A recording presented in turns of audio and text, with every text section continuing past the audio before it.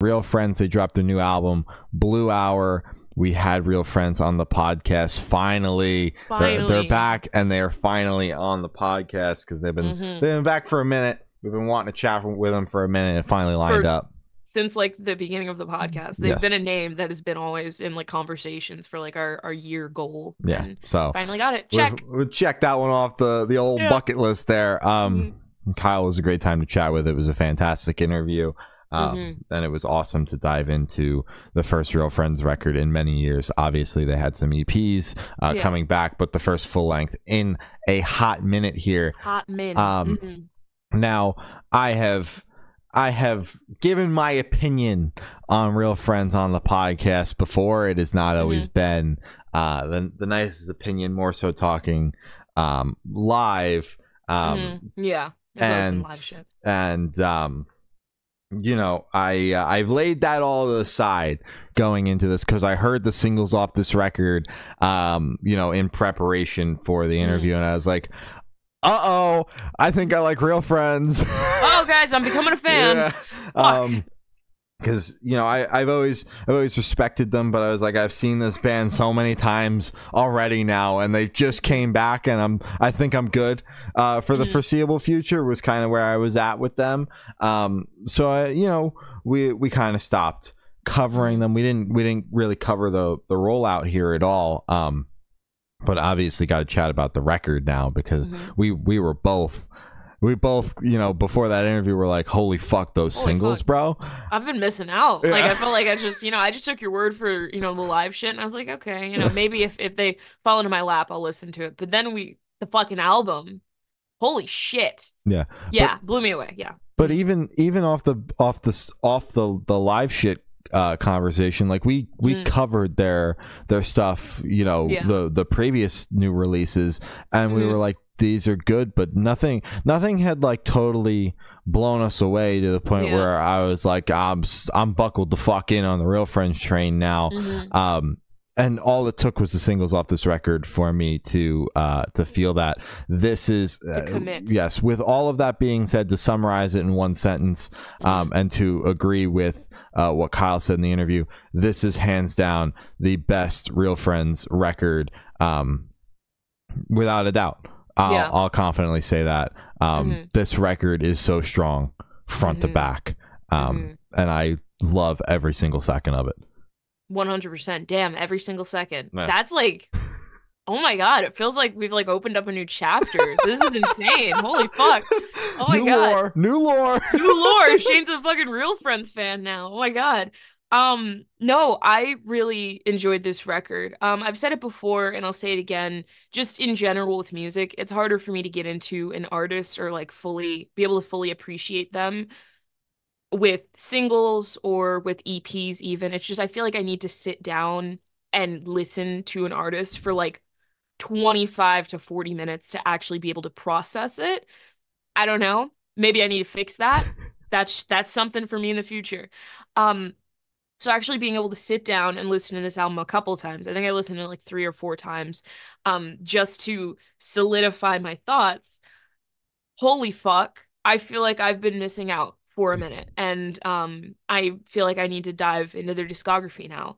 Um it you know itches that part of my brain where it's that kind of like the vocals where it's very emotional but it's still very high energy at points. Um there's a the flow of the album is very up and down in my opinion um but it's not as jagged as you would think it would be because it does feel like the songs are kind of switching off Mhm. um well there are points where they're switching off where it goes from you know soft softer but just you know not as high energy to super high energy fucking running around all that shit um the vocals are fucking insane. This type of vocal i don't know how the hell you would classify it. I know it's like a subgenre or whatever but this type of vocal is like one of my favorites that we've discovered just on the podcast because it has such a nostalgic feel to it. It's not it hell hell it is not like fucking bedroom emo but that type of like emotion raw emotion that you could hear at some points in the album.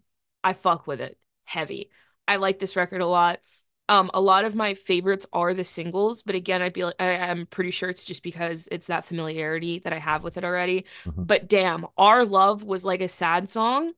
That shit feels like something I would have listened to on repeat in like 2020. Like it has it has that vibe of just like I'm gonna stream the fuck out of this and not listen to anything else for like a, a month probably. That they they put something special in that song. I also really liked Waiting Room, which was another single, I'm pretty sure. Um, Never Has Become Always was really good. And uh, This Year's Out to Get Me was really good. I oh, and then the fucking closer. I really enjoyed the closer a lot. Um, because it felt like a closer. Album's incredible. Really enjoyed it, and I really feel like I've been missing out now. It's like fuck, my like my third fucking real friend's eye has been opened. It's incredible. I love it. I love it so much. Yeah, yeah. This um it it's as I said, front to back, hands down, fucking Mhm. incredible. Um I know you mentioned the the track listing and and the flow. Um there are definitely a fair few slower tracks on the record, but you know, with with the the emotion that you get throughout the entire record um Mhm. and and the the vocal delivery and all that Mhm. it fits. Like I, I'm, I'm always someone that's like, oh man, come on, you serious here? But I also know what I'm getting myself into when I turn on a pop punk record. Um, Yeah. like Mhm. you know, and I can complain about it as much as I want, but if the but if the band flows it the right way, which in this Mhm. case I think they did, um, it it does not annoy me or upset me as much as if you stick the slow song smack dab in the middle and then pretend like it didn't even happen. Stand Atlantic.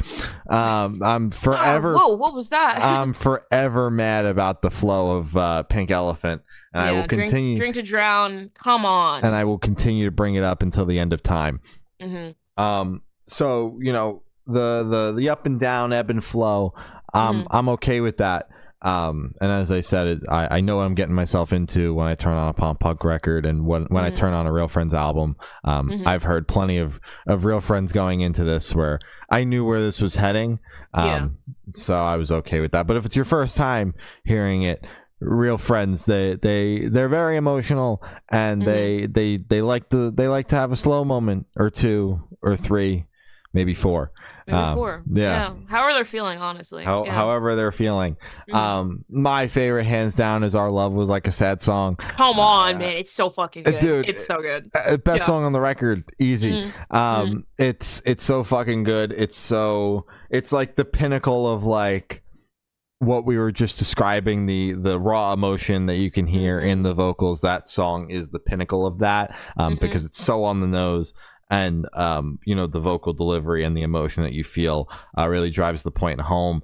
Um, Mhm. I like the way it opens um, Mhm. because again, you know, it does set that tone of like there's there's going to be a little bit of everything on here. You know, it opens Yeah. up very slowly, Mhm. um, and then kicks you uh, immediately with "Our Love Was Like a Sad Song," which is just such a big, almost anthemic uh, track. Yeah, yeah. Uh, but I'm I'm a, I'm a big fan of this record. Um, you know. Pleasant, pleasantly surprised, but I also had high expectations once I heard um, the singles going into this. That uh, Mm-hmm. I was probably gonna like it a little bit. Maybe just like a little, like a hair. A little like bit. tiny little bit. Smidge. You know? Yeah, like a little, little sprinkle of, of liking the record. yeah, Yeah. they'll they'll Hell be yeah. Mm-hmm. they'll be on tour uh starting very soon um headlining with uh can't swim carly cosgrove and slow joy um so if that's coming to a town city state near you uh you should hit it up hmm Hit that shit up. hell yeah For real. Yeah.